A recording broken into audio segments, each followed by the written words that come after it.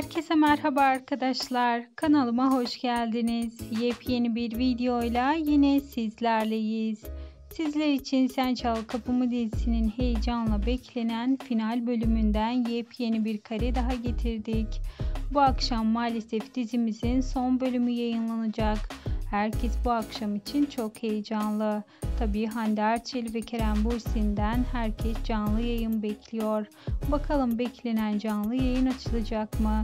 Tabii ki ben de ilk kareleri, ilk haberleri görür görmez anında sizler için kanalımda paylaşacağım. Bunun için gözünüz kulağınız Peri Masalı kanalında olsun.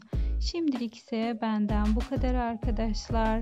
Bir sonraki videolarımızda görüşmek üzere. Hoşçakalın.